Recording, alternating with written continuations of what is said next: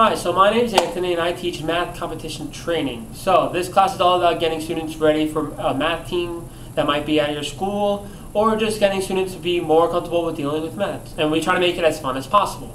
So the main things that they learn in this class is really problem solving strategies so that when they see a problem, they don't necessarily just buckle down and be all upset and feel intimidated when taking, the uh, taking a problem or solving it or anything of the sort they feel comfortable when working with it. So we teach them strategies like making a picture, drawing diagrams, uh, tables, uh, solving simpler problems, uh, finding a pattern, and even as simple as guessing and checking. And we work with these strategies and do different practice problems with those.